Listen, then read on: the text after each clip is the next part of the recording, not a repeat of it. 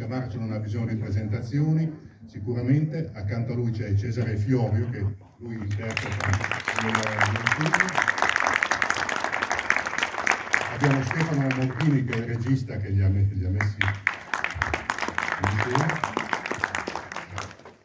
Abbiamo Walter Brook che interpreta Walter Roll nel film. C'è Maria Martini che interpreta il cattivo nel film perché è Nicola, il rivale della Lancia. Poi abbiamo Giampaolo Letta di Medusa Film e Samantha Antonità di Rai Cinema. Beh, io credo che Race for Glory non sia soltanto la storia di un racconto di una grande impresa sportiva, dell'ultima vittoria mondiale con un'auto che aveva due ruote motrici. Race for Glory secondo me è anche il racconto di come un successo sportivo possa cambiare il destino di una casa, perché forse senza quella vittoria nel 1983 della Lancia non avremmo poi avuto le Lancia che hanno eh, dominato con la, con la, Delta e poi la Lancia che adesso sta ripensando a un nuovo rinascimento, perché come tutti sappiamo la Lancia sta ritornando ad essere un marchio importante e eh, l'augurio che presto tornerà a partecipare anche alle corse. Ma Race for Glory credo che sia soprattutto una storia di uomini una storia di uomini che nel film è interpretata da Cesare Fiorio, ma che sotto Cesare Fiorio vede tutta la grande squadra Corse Lancia, che è qualcosa che ha permesso all'ingegno e alla creatività italiana di avere sopravvento contro la grande tecnologia tedesca, quella che era, come dice Scamarcio all'inizio del film, una vera armata, perché l'Audi si presentava in grandissime forze e per riuscire a battere quell'Audi ci volle tutto il genio di Cesare Fiorio e degli uomini e delle donne che lavoravano con lui all'interno della squadra Lancia che negli anni Ottanta era eh, era qualcosa di particolare e, e, di unico. Comincerei a chiedere a Riccardo Scamarcio, ma come ti è venuta questa passione per il rally? Come ti è venuta questa passione, per, questa voglia di raccontare Cesare, Cesare Fiorio e la sua, questo 1983? Ma io, diciamo, non ero un appassionato di rally. Mi ricordavo come forse tutti la S4, la, del, la Delta integrale, eh, da bambino così. E, e, poi ho visto dei video su, su internet di questo campionato del mondo dell'83 e, e, ho detto ma, eh, ma qui c'è proprio un aspetto che mi, mi interessa molto ehm, appunto questo, questo confronto tra l'umanità, la genialità, la passione, l'audacia, il coraggio, un briciolo di follia, di astuzia di un uomo che riesce a mettere in crisi eh, l'arroganza della tecnologia e del denaro. Eh, e quindi pensavo che fosse metafora anche di un, di un modus operandi, di, un, di, uno stile, di un modo di essere che, ehm, e, che, e che questo in qualche modo potesse rinfrescarci le idee a tutti noi italiani di, di um, chi siamo, da dove veniamo, uh, queste caratteristiche. È stata un'altra Italia-Germania 4-3 questa, eh? Praticamente, esattamente. Chiaramente tutto questo all'interno di un, di un, di un racconto sportivo, di competizione, di sfida, che chiaramente sono elementi eh, che possono generare anche intrattenere il pubblico, incuriosirlo e fargli vivere un'esperienza eh, divertente. E poi questa semplicità eh, di, un, di, un, mondo meccanico, eh, analogico eh, e non elettronico, ecco, questa semplicità e questa onestà che forse sono due, due aggettivi un po' in disuso, mi rendo conto che la società contemporanea invece vuole mettere in scena eh, dei supereroi eh, che hanno armi incredibili, che, fanno, che volano, che fanno... Ecco, qui non vola nessuno eh, nel nostro film. Eh. solo le api di Walter volano. Solo le api di Walter volano, esattamente. E poi tutto questo appunto condito però con, un, con l'ausilio di un... quindi elogiando anche una diversità che nel mondo tedesco, insomma, un po' conosciamo, se pensiamo alla letteratura tedesca, il romanticismo di un pilota tedesco, il romanticismo germanico, ecco, quindi noi trattiamo anche l'avversario eh, elogiandolo. Ecco, mi sembrava che ci fossero questi elementi che eh, ci, ci mettono anche al riparo da nazionalismi stupidi. Prima di interpretare Cesare Fiorio sullo schermo, mi sembra che tu abbia preso le parti di Cesare Fiorio perché hai fatto un po' il team manager di questo film, hai dovuto, hai dovuto fare un po' a creare i finanziatori, trovare i finanziatori, trovare gli sponsor, andare a trovare le auto con cui eh, girare questo film, insomma hai dovuto fare davvero Cesare Fiorio per realizzare questo film che ti hai rimesso in testa. Sì, diciamo che il lavoro di produttore che ho fatto per questo film era un training perfetto per il personaggio, no? Cioè, quindi non, forse non mi sono mai preparato così bene, eh, non ho mai preparato un personaggio che dovevo interpretare così bene come ho fatto in questo film. Ecco, le due cose sono proprio, collimavano perfettamente. Cesare, com'è stato rivederti sul grande schermo interpretato così bene da Riccardo Scamarcio? Il 1983 è stato soltanto uno dei tanti anni in cui tu hai vinto qualcosa. Ricordiamo quest'uomo ha vinto qualcosa come 19 titoli mondiali, ha vinto nei rally, ha vinto in Formula 1, ha vinto nel mare, sul mare con Destriero, insomma, ha fatto la storia dello sport italiano sicuramente. Com'è stato rivederti sul grande schermo? Devo dire che è stata una grande emozione comunque, anche perché il ricordo del, di quell'anno lì 1983 è stata una grande vittoria che noi abbiamo conseguito delle, delle, tante che abbiamo fatto, però quella lì in particolare era particolarmente significativa. Perché significativa? Perché era arrivata l'Audi con le quattro ruote motrici e dominava dappertutto, erano campioni del mondo, avevano vinto, non so, 100 gare, vincevano dappertutto. E noi non avevamo ancora quella tecnologia delle quattro ruote motrici, dovevamo usare la tecnologia delle due ruote motrici, però avevamo l'esperienza della Lancia Stratos con cui avevamo vinto tre campionati del mondo prima e con quella abbiamo costruito una macchina molto leggera, la 037 che era poi la protagonista di questo film di quegli anni e, e con la 037 abbiamo vinto il campionato del mondo davanti alle Audi 4 ruote motrici. Quella è stata l'ultima vittoria di una macchina con due ruote motrici davanti alle quattro ruote motrici. Poi evidentemente anche noi abbiamo acquisito questa tecnologia e di lì poi non ce n'è stata più per nessuno, dai.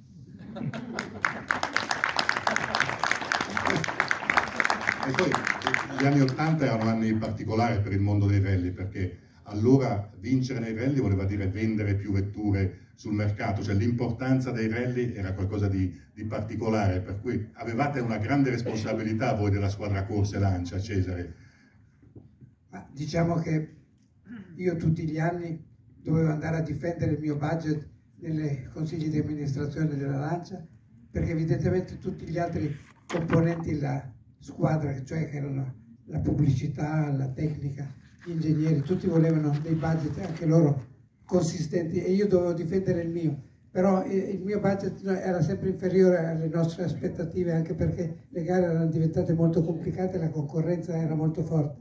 Per cui in quel momento ho avuto accesso, ho portato dentro degli sponsor, ho dipinto le macchine con i colori di grandi sponsor che hanno corso per noi, come la Marlboro, come la, come l'Italia, come la Martini Rossi. Noi siamo stati i primi in assoluto a avere questo tipo di supporto che poi evidentemente è stato anche copiato, ma all'inizio eravamo solo noi, per cui quello ci ha aiutato molto in questa, diciamo, questo budget che dovevamo mettere insieme è stato un po' un visionario del mondo delle corse, Cesare Fiorio, perché ha fatto cose che poi gli altri hanno cominciato a fare dopo. Ha parlato degli sponsor, ma poi c'erano anche i ponti radio con, con, gli elicotteri, qualcosa che nel film viene reso bene, perché l'uso degli elicotteri è stato qualcosa che Cesare Fiorio aveva portato in pista, in, pista, in strada prima degli altri. Passerei alla regista Stefano Mordini. Qual è stata ehm, il rally si dice all'inizio del film no, è, sport, è, la, è la, parte più democratica del, del, motorsport perché è una gara che si corre in mezzo alla gente, si corre sulle strade che siamo abituati a magari a frequentare con le nostre auto. Eh, eh, riuscire a rendere così bene un, un, un, rally, quindi farci vivere i rally dall'interno dell'abitacolo, ma anche con tante riprese che ci portano proprio ad assaporare la velocità, è stata senza dimenticare poi il lato umano, perché questo film c'è tante corse, ma c'è anche un lato umano molto, molto importante. Quindi un film che va bene per i grandi appassionati, ma per chi vuole soltanto vedere una bella storia al cinema. Hai già detto tutto, abbiamo approcciato il linguaggio in quel modo lì, eh, ci siamo posti il problema sin dall'inizio di come dare l'idea della velocità, di come, di come il pilota interpreta la macchina e di come la macchina risponde al pilota, stando dentro sempre una dimensione di verosimiglianza. Abbiamo di base approcciato il film senza pensare agli effetti speciali. E poi il rapporto fra auto e territorio, come inserirla dentro, ci siamo detti più volte, è un film sulla natura, perché queste macchine attraversano territori continuamente, li fanno propri, passano attraverso le case, passano attraverso le persone, non girano in un circuito, subiscono il tempo che cambia, il, terreno che cambia. Io sono un appassionato di ciclismo, e quindi in realtà per me, io a maggio guardo il Giro d'Italia, in questi posti li avevo già visti col ciclismo oltre che con rally eh, anch'io in realtà non, non, nasco come appassionato di rally, però ovviamente poi eh, per il film abbiamo fatto un grosso studio e ovviamente mi sono visto tutto, ma detto questo anche sul rapporto, come, come dicevi tu giustamente, fra la sensorialità del rapporto pilota, direttore sportivo, squadra, eh, gente, meccanici e, e, e, il racconto sportivo sia dal punto di vista automobilismo che dal punto di vista umano. Insomma. Poi comunque la scelta di fare tutto reale, di non avere... Eh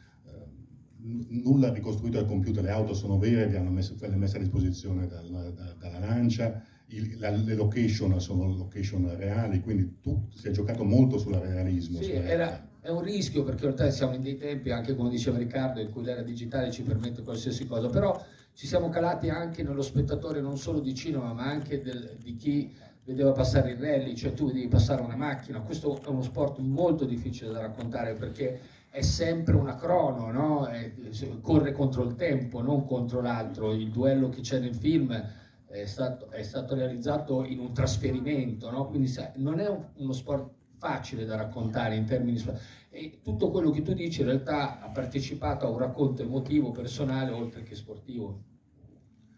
Walter Brook è, Volker Brook è Walter Roll nel, nel film, quindi l'uomo che porta questa lancia poi a conquistare insieme a Marco Allen il titolo mondiale Marche, mentre il titolo mondiale piloti va a, a Miccola in, quella, in quell'anno. Eh, si vede il grande campione di rally, ma si vede anche l'uomo, il lato romantico di eh, Walter Rohr. Com'è stata interpretare, mettersi nei panni di Rohr? Um, does it, yeah, does it work? Yes. Um, yeah, I mean, um, and this this project, um, when this project came to me, um, there were basically two moments when I fell in love with. And the first one was when I met Ricardo in Rome. That was beautiful. We had uh, lunch, and it was absolutely clear that um, this is um, this is something uh, I want to be part of. And the second uh, thing was when I was sitting in the Lancia uh, Zero um, 37. It was just so powerful and so magic. Um, and this is also something I think that uh, combines is um, that he's, you know, completely independent from the success um, that he's um, that he's having. So he's he's just good at what he does, and that's why he loves it. And I think this is um, the magic of this um, of this character. That you know he, he doesn't do it to to be loved by others, but um, because he um, because he, he loves the perfection of doing what he's good at.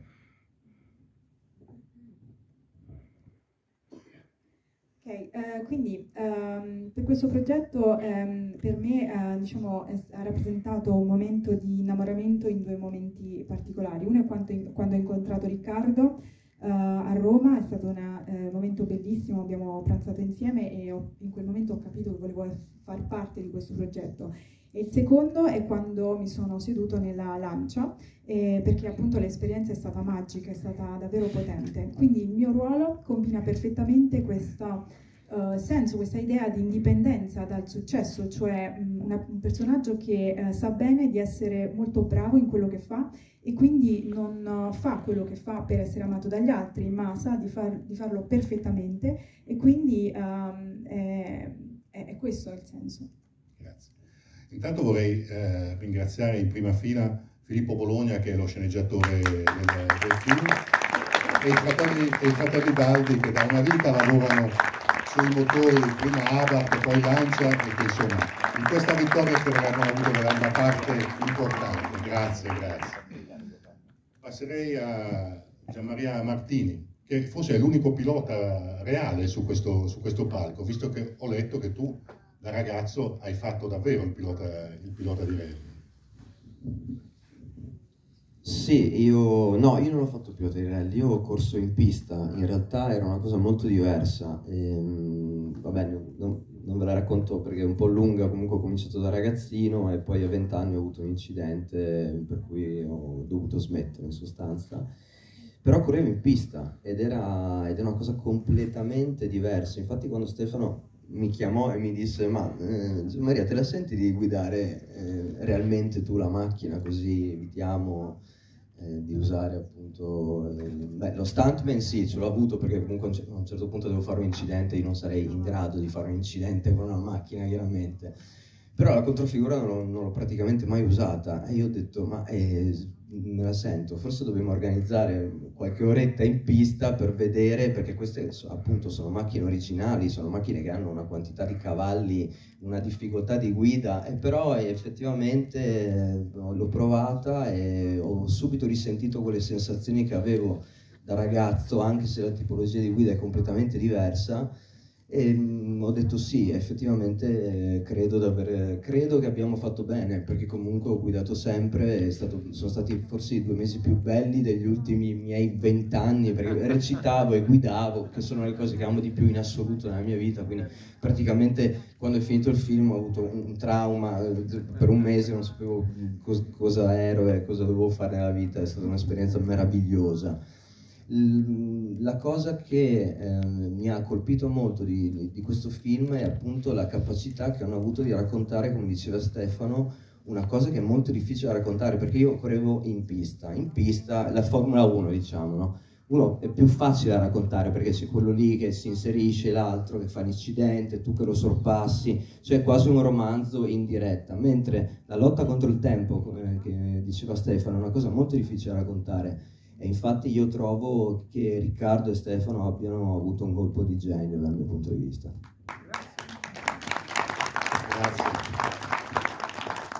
Grazie. For Glory è anche una cooperazione, una collaborazione tra Rai Cinema e Medusa.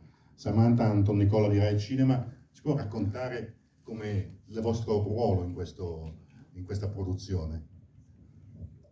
Beh, noi siamo, diciamo, coproduttori insieme a Riccardo del film.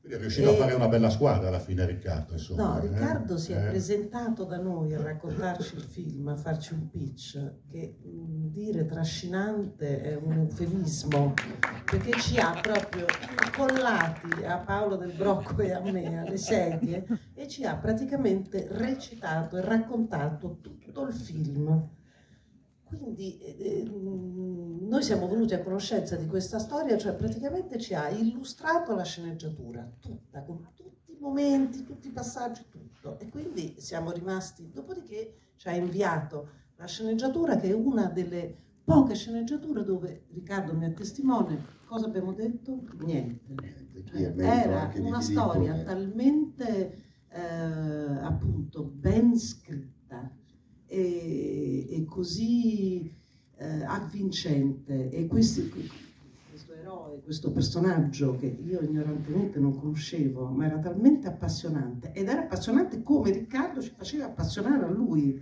Quindi, insomma, ci siamo veramente scivolati dentro con molto molto piacere. Con questa cosa che avete già ripetuto due o tre volte, ma è vera, pure noi all'inizio eravamo scettici perché dicevamo ma come si racconta il rally? Tu vedi una macchina che guida, ma come, come fai a creare eh, quella, quel pathos, quella suspense, quello che serve? Loro ci sono riusciti.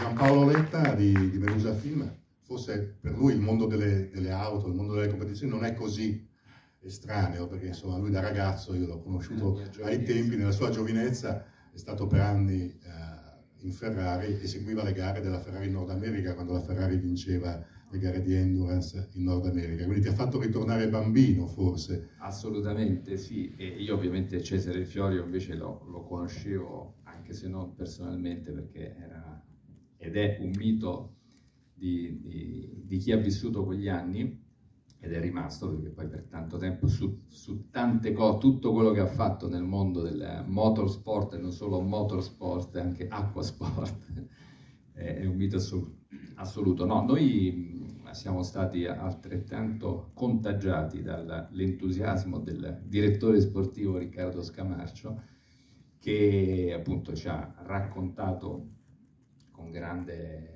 energia di questo progetto e quando poi ne abbiamo parlato insieme agli amici di Recinema, siamo stati subito convinti di fare questa collaborazione sotto il profilo distributivo. Il film uscirà giovedì prossimo, 14 marzo, in 360 cinema, quindi un'ottima uscita.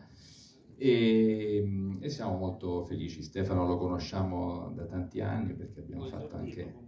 Ha ah, esordito, esatto, con noi, quindi una squadra, Riccardo è riuscito a mettere insieme una, veramente una squadra di grandissimi professionisti. E ultima cosa che aggiungo, secondo me, eh, merito degli sceneggiatori aver, e dell'idea, insomma, aver raccontato gli anni Ottanta da un punto di vista molto originale e insolito, perché in genere si raccontano altre cose, se ne è raccontato tante volte al cinema degli anni Ottanta, questo è un punto di vista molto originale e, e diverso. Grazie. Prima di aprire alle domande, alle domande, della sala avevo una curiosità per Riccardo. Qual è stata la, la parte più difficile nella realizzazione di questo film eh, per te? Riuscire a creare la storia o la storia ti è venuta così naturalmente sentendo tutti i racconti che Cesare ti ha fatto nel corso dei vostri incontri? Mm, diciamo, ehm, qui questa forse è una domanda che dovresti fare più a Stefano che a me perché è, stata, è stato Stefano che da subito ha, ha individuato un, un, elemento fondamentale, ha detto benissimo, dobbiamo raccontare il mondo del rally, non è mai stato fatto, siamo negli anni Ottanta, eh, c'è questo aspetto della meccanica che la fa da padrona, che si differenzia da, da, dal, dal, mondo del motorsport contemporaneo, quindi questo, questo approccio radicale, estetico, eh, che il film porta in scena, cioè appunto l'assenza di eh, trucchi, eh, il fatto di poter andare dritti al cuore, chiaramente anche perdendo qualcosa da qualche parte, no? quindi esponendoci a un rischio.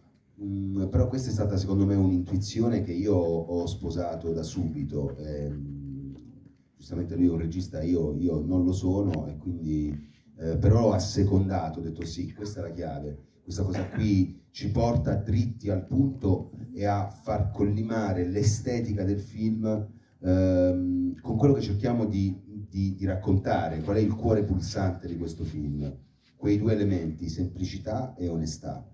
Um, e poi, sì, poi chiaramente il mio rapporto con Cesare è stato fondamentale. Cesare ha una masseria in Puglia, eh, non molto lontano da, da dove ho anch'io una, un'azienda agricola, fa l'olio come del resto lo faccio io. Per cui diciamo, mi, sembrava, mi sembrava incredibile questa cosa che un torinese si fosse trasferito in Puglia. Dico, allora veramente c'è un punto di contatto, c'è qualcosa che ci accomuna veramente. Eh, torinese che aveva tradito la Sardegna per la Puglia, perché lui per tanti anni aveva frequentato la Costa Smeralda, invece poi si è innamorato della Puglia e si è stabilito lì. Perché la Puglia in questo senso anche lì ha ritrovato forse questi due elementi, semplicità e onestà. Ehm, non voglio ripetermi, però ecco, queste, queste due cose sono fondamentali e per noi, eh, insomma, veramente Stefano è stato eh, bravissimo, io ho assecondato e l'ho sostenuto in queste scelte, chiaramente andando a rompere le scatole a tutti quanti, in primis alla RAI, eh, perché li ho massacrati per un bel po', ho cominciato a raccontare questa storia a Samantha e a Paolo, guardate che questa è una storia pazzesca ragazzi, sì vabbè ti conosciamo, lo sappiamo, no no ragazzi però e allora andava a citofonare, ah, Paolo senti, oddio santo, oddio che angoscia di nuovo, eccolo qua, quindi diciamo, sono. È un po' come faceva Cesare con i piloti, no? per convincerli Esatto, a guidare per, esatto. per lui, dovevi... sì. sono ispirato a a Cesare che mi ha raccontato anche di come, diciamo, con la sua tenacia è riuscito poi a coinvolgere anche perché Cesare è stato il primo che ha introdotto il concetto di sponsor all'interno del rally, no? Poi, poi l'hanno imitato tutti, eh, eh, l'hanno copiato tutti, così come il fatto di fare il ponte radio con un aereo che lo garantisse, perché chiaramente Quello di affidarsi a un medico, eh, che nel, nel- Il medico nel- sportivo, certo. medico sportivo che nel... C'è Jane Mc- McCoy che nel, nel film, che in realtà poi il medico del- della squadra lancia era il mitico Ben Bartoletti. Adesso partirei eh, a sentire qualche domanda del pubblico, ecco. Grazie. Sono qua.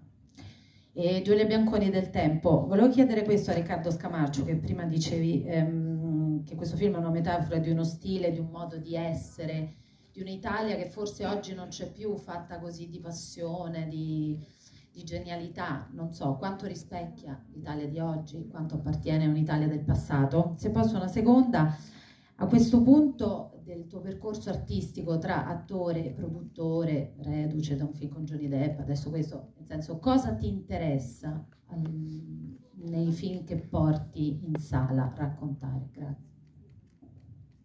Eh, eh, mi, interessa, mi interessa mettere al centro ehm, questi aspetti de- de- degli uomini, mi interessa interpretare dei personaggi che sono mossi da, da una passione mh, e non da, da un ritorno, ehm, come dire, eh, economico del successo, ma nella realizzazione di un ideale, ecco, eh, che sono degli idealisti in qualche modo, così come lo è Cesare no? in questa storia, così come lo era Modigliani. eh, e diciamo che per fortuna mi capita di interpretare personaggi così. Eh, in fondo, se c'è proprio un elemento che la responsabilità, un- come dire, un potere che l'arte eventualmente ha è proprio quella di rimettere l'uomo al centro. E siccome viviamo in una società mh, tecnocratica, dove vuole vedere invece l'uomo schiacciato dalle macchine, penso che ci sia bisogno di fare dei film così.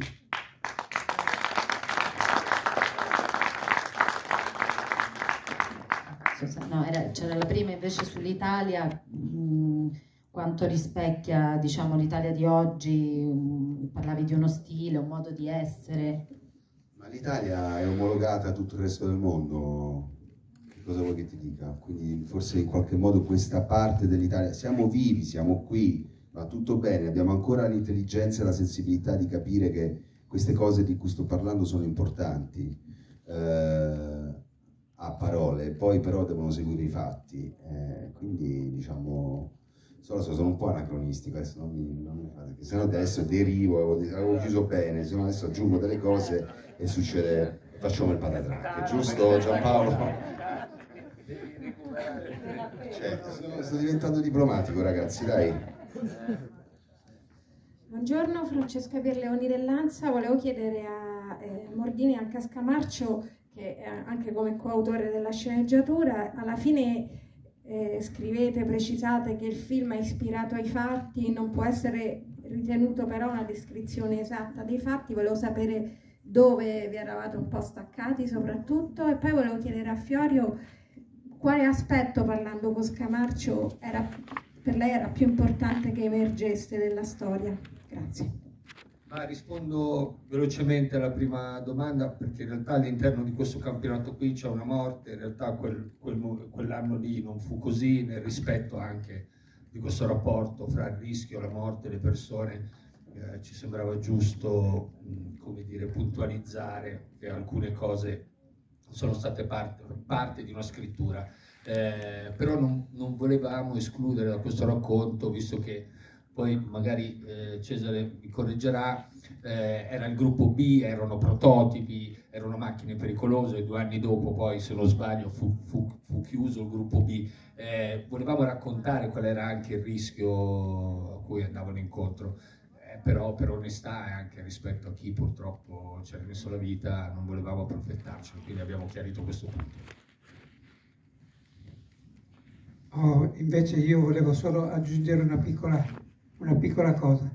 I rally a quei tempi lì erano assolutamente famosissimi e molto frequentati dal pubblico.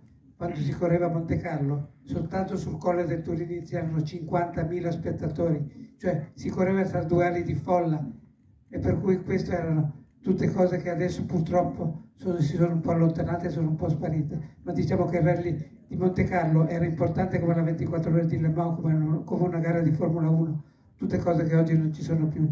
Per quanto riguarda i piloti, certamente lo sport automobilistico è uno sport pericoloso, per cui in, tutti, in tutte le sue anime ha avuto delle vittime, per cui anche in Formula 1 le ha avute negli sport prototipi, le ha avute anche nei rally, per cui questo è una cosa che purtroppo fa parte della storia della, della, delle gare automobilistiche. Allora, vado io. Ah, Roberto Refrigio per Media Time, una domanda proprio sempre per Riccardo. Intanto ringraziamento personale perché sono qua. Cioè, sono, sono, due domande. La prima come hai messo sul cast, visto che mi hai scelto il commissario più famoso della TV che io adoro, tedesco, e, e soprattutto come è stato, uh, quindi tutto come la realizzazione del cast, è stata una scelta, come sei stato aiutato. E poi la mia domanda ovviamente anche da, da fan è come, come interagire con un mito? Cioè io oggi grazie a te ho la foto, la dog foto del mito, quindi è perché per me è un mito, scusate, io parlo da appassionato, quindi e quindi di conseguenza come interagire con un mito che magari c'è lì accanto, quindi questo proprio a livello umano. E grazie ancora per questo film. Ma eh, parto dalla seconda domanda. Eh, interagire con un mito come Cesare è, è, come mi è capitato di interagire con altri miti eh, nella mia vita, che, che io reputo tali, eh, c'è un, un'adesione, una sensibilità un, un'umiltà, una semplicità e una gentilezza d'animo infinita. Eh, e quindi la statura umana eh, di Cesare è quella che mi ha colpito ancorché quella professionale, artistica. Eh, e queste due cose coincidono sempre, almeno mi è capitato, anche quando ho conosciuto Johnny Depp e Al Pacino ultimamente, devo dire che diciamo mi viene da fare il paragone perché l'attitudine è sempre quella, no? poi dietro un grande artista come Cesare c'è, c'è, sempre per forza un grande uomo, una grande umanità. E, e, e poi qual era l'altra domanda? Il cast. Ah, il cast con Stefano ci siamo messi così a, un certo punto abbiamo detto vabbè allora forse ci riusciamo a mettere in piedi questo film, questa follia e quindi abbiamo cominciato a pensare dei nomi. Ehm, eh, io avevo già lavorato con Daniel Brühl eh, in un film che si chiamava Il sapore del successo, Burnt in inglese, quello con Bradley Cooper, eh, e quindi insomma l'abbiamo, l'abbiamo, contattato e Daniel ha detto sì sì mi piace il copione, ha letto e ci sto, voglio fare, voglio fare Cooper, voglio interpretare questo... E, quindi, e poi invece per, per Volker è, è, stato molto semplice perché a un certo punto... Eh, ci arriva questo video uh, di Volker che a casa sua d'estate era un video che gli ha fatto sua moglie di lui che sale su una scala e che prende con le mani un alveare da un albero. Beh, eh, dico vabbè, basta, no? ci siamo io e Stefano, ci siamo guardati ho detto è lui, cioè è lui, è proprio, cioè, è lui è proprio il nostro personaggio. Per cui, ecco, questa, questa anche, anche Volker è una persona ecco, dotata di questa grandissima sensibilità, che ha sposato il progetto, ehm, che poi a un certo punto si è pure perso tra le montagne, o, o, almeno noi abbiamo pensato a un certo punto mentre giravamo in Piemonte, Piemonte vi racconto questo piccolo aneddoto, parte la notizia, perché praticamente non si trova più Volker, lo raccontiamo, che lui, che lui, perché lui se ne va a fare le passeggiate in montagna, eravamo veramente a 2007 sperduti. Sul Sempione. Sì, sul Sempione, esatto. E, e lui aveva il, day off, poi a un certo punto un trasfer- ci dovevamo trasferire, quel giorno non, non lavorava, e niente, se n'è andato, è sparito per 7-8 ore, noi abbiamo dovuto chiamare, abbiamo dato l'allarme, abbiamo chiamato le guardie campestri, è Ha uscito, chiamato Riccardo e ha detto non trovo più fuoco. non si trova più foche, si è perso nelle montagne, poi è tornato tranquillo alle 4 e mezzo di pomeriggio, noi eravamo morti tutti, ovviamente si è diffusa la notizia in tutta Italia, però dico, queste sono diciamo le esperienze che poi a un certo punto quando si fanno un film uno può anche vivere, è un grande, è un grande Volker, appassionato della natura vero lui, eh? fa trekking, se ne va, vuoi dire qualcosa? You want to say something? Come on. That was a big misunderstanding.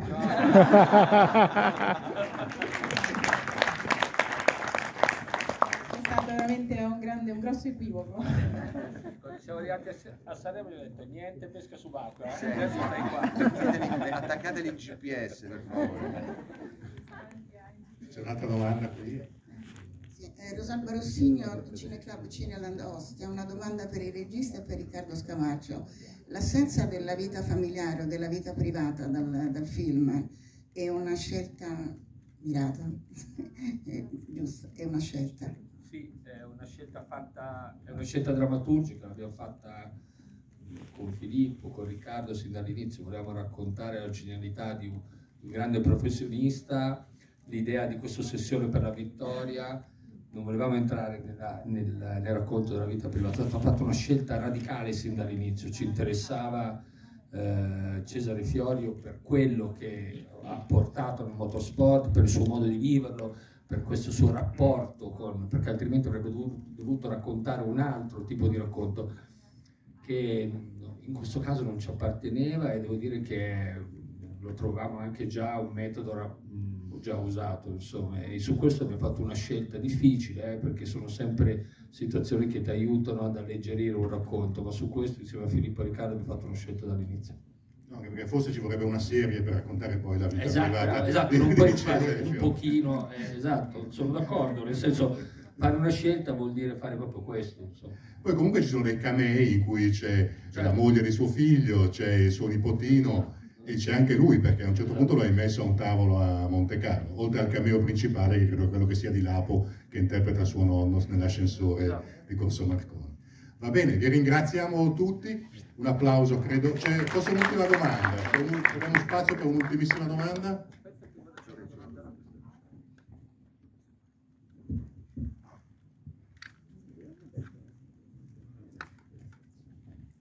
Allora, in realtà se posso, due domande. Allora, come già... Sono Massimo Brigandi di Cine Clandestino. Eh, allora, come già sottolineato una collega, naturalmente alla fine del film viene detto che eh, naturalmente questo è un film e non un documentario, quindi è giusto, è giusto ricordarlo perché insomma soprattutto in un'epoca social poi sappiamo che le discussioni su internet su quello che era, che non era, poi vanno avanti all'infinito. Però volevo domandare un po' a tutti, anche a Cesare Fiori o allo sceneggiatore, visto che è in sala, Ehm, cosa c'è di vero nel, eh, in un paio di episodi? Nel rapporto alle volte conflittuale col eh, capomeccanico e ehm, eh, nell'episodio molto buffo, molto divertente delle auto che sono state spostate da un parcheggio all'altro per riuscire a, per riuscire a, a superare diciamo, un problema. Poi ho una breve seconda domanda, se possibile. Se posso rispondere alla domanda che ha fatto. Allora aspetta, La- la chiedo storia- subito- mi perdoni, chiedo subito un'altra cosa. Volevo sapere, visto che c'è lo sceneggiatore in sala, se l'incidente che viene mostrato per Kurt eh, se è ispirato a quello con esiti ben più drammatici che ebbe Toivonen pochi anni dopo e che eh, portò poi alla chiusura della... Rispondi tu Cesare, tanto prima la questione. Beh, diciamo che lo sport automobilistico, come ho detto prima, ha sempre avuto degli interpreti e anche delle vittime, per cui questo valeva sia per i rally, sia per i prototipi, sia per la Formula 1, sia per la Formula 3, qualunque gara motoristica comporta i suoi rischi. E questo sicuramente fa evo- evolvere anche i regolamenti che la federazione emette. Per cui piano piano si cerca di ottenere una maggior sicurezza nelle macchine, maggior sicurezza nella protezione dei piloti, maggior sicurezza nelle strutture ricettive che devono accogliere queste gare e per cui la sicurezza è molto migliorata, però all'inizio della, della, mia esperienza lì non esistevano neanche le cinture di sicurezza nelle macchine, per cui diciamo c'è stata una grande evoluzione da questo punto di vista. Chiedevano se il numero delle macchine, quella mi sembra una... Beh, quella è l'unica cosa non vera del film, se posso dire, perché noi eravamo molto rispettosi delle, dei regolamenti esistenti e in 40 anni di corse non ho mai avuto nessun rapporto negativo con la federazione internazionale, quello sarebbe stato veramente qualcosa che non avremmo dovuto fare e in effetti non facemmo, neanche, neanche, per, neanche per finta.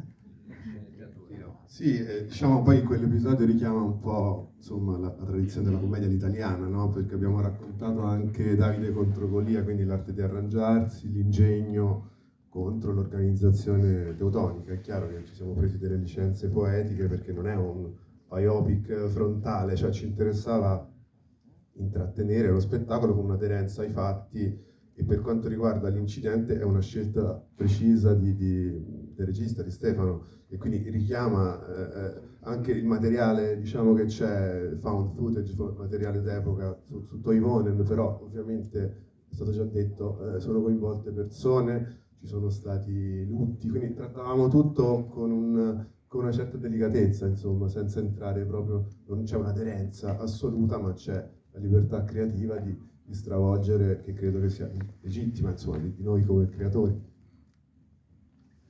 Grazie, grazie a tutti, buona giornata.